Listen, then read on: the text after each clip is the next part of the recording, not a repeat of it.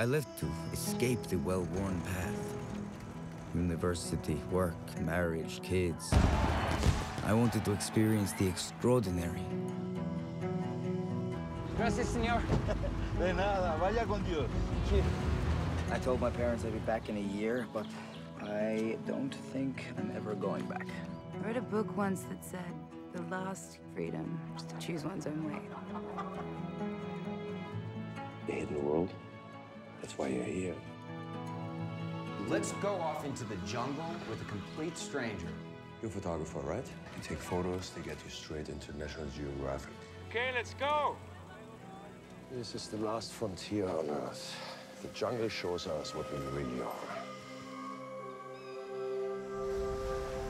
Perfectly balanced. The problem is us. With the cancer, we deserve to disappear. The only guy who knows where we are and what we're going to do, and he just walked away.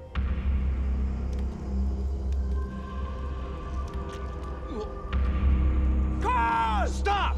You're such a letdown, I can't even believe it. Don't